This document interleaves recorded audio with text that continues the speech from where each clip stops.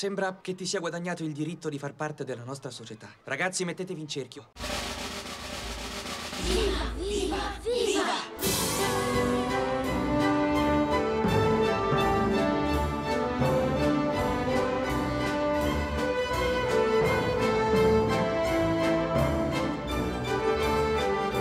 Fuori di qui, prima che vi faccia a pezzi.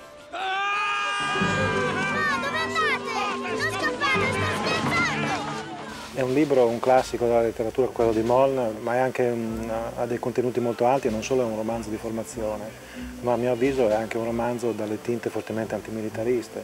Si tratta della guerra che si fanno due ragazzi per appropriarsi di un campo dove poter giocare, senza sapere che poi alla fine questo campo da gioco, questa ex segheria in disuso, viene poi demolita perché la proprietà costruirà una casa e quindi ogni battaglia, ogni guerra, ogni sforzo sarà vano, però Nemecek riuscirà a riunire questi due gruppi e a non farli più combattere uno con l'altro. Ecco dove secondo me sta un forte messaggio antimilitarista.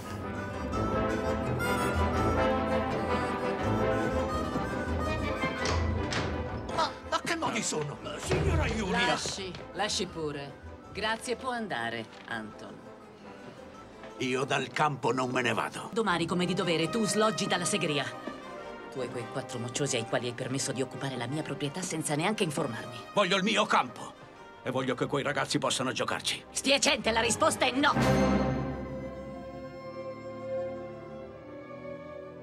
Sai, le cose a volte non sono come sembrano. Non ci pensare più, va bene?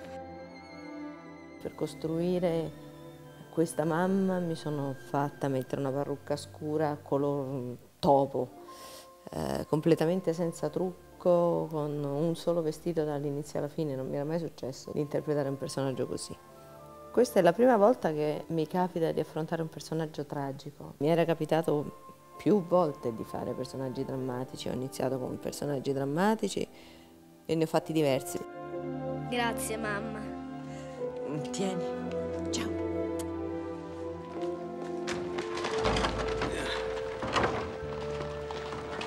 Complimenti. Avete trovato nella signora qui presente un avvocato coi fiocchi. Potete usare il campo. Su quel campo sorgerà uno stupendo caseggiato, un edificio di quattro piani per 12 famiglie, quello che si chiama progresso. E ti avverto, non provare a metterti sulla mia strada. Ci divertiremo, Giulia. Ci divertiremo. Essendo una donna battagliera, non solo cerca di dare una mano a questo gruppo di ragazzini che poi sono i ragazzi della Via Pal a trovare un luogo, una- un, un posto dove giocare, ma eh, cerca di aiutare anche questo suo ehm, ex, diciamo, innamorato perché ha dei problemi con la, con la moglie e siccome lei è avvocato cerca di dargli una mano. Insomma, è una, è una che, che combatte sempre, una, una donna veramente con una grande personalità. ecco. E te che, che avrei dovuto sposare? Chissà perché non l'hai fatto. Già. Chissà perché.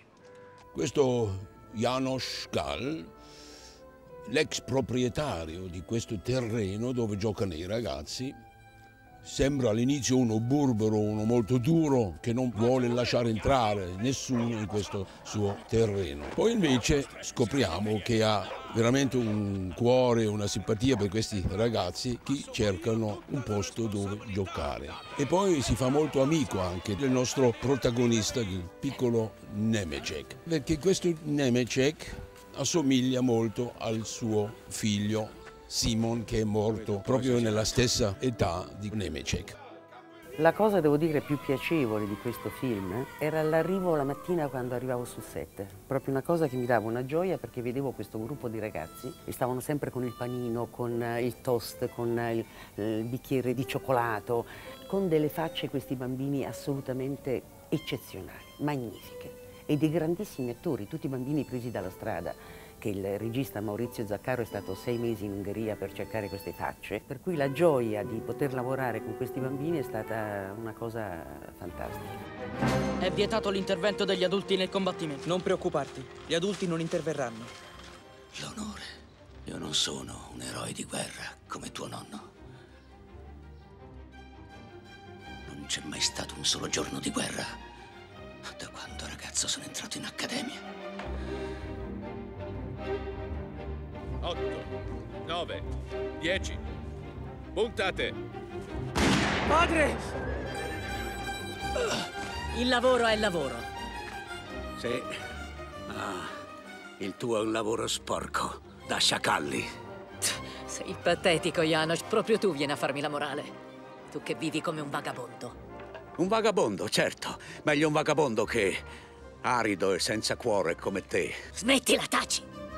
Sarebbe troppo banale dire che gli, i ragazzini sono più adulti degli adulti stessi, però al tempo stesso gli adulti non si rendono conto di quanto sia importante questo piccolo spazio, perché si parla poi di un campo di periferia. Quello è alla base di tutto il discorso, perché i ragazzini nel 1905, come del resto oggi in molte metropoli del mondo, non hanno degli spazi adeguati dove poter giocare, dove poter ritrovarsi in una piccola comunità ludica. Per cui giocano nelle strade, giocano in ambienti che non sono adeguati a questo scopo.